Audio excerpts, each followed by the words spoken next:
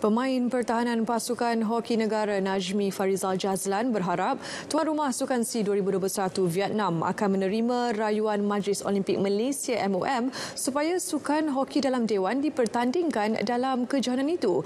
Ini kerana sukan itu semakin popular dalam kalangan rakyat Malaysia selain menjadi lubuk emas Malaysia dalam dua edisi Sukan C lalu. Pemain berusia 25 tahun itu juga optimis sukan itu berpeluang untuk disenaraikan atas faktor Thailand dan Singapura yang turut merayu sukan itu dipertandingkan. Oh, saya harap cerahlah untuk kita main dekat Vietnam tu.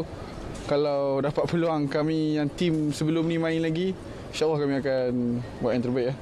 Najmi yang juga pakar dalam pukulan sudut penalti menjadi watak penting negara dalam acara hoki padang dan hoki dalam dewan. Pemain kelahiran Perlis itu juga bersedia jika disenaraikan KHM dalam pasukan kebangsaan ke Sukan Si Vietnam bagi mempertahankan emas acara hoki dalam dewan.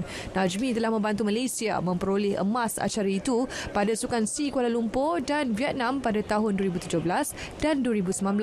Selain membantu Malaysia layak ke Piala Dunia 2018 dalam acara hoki padang.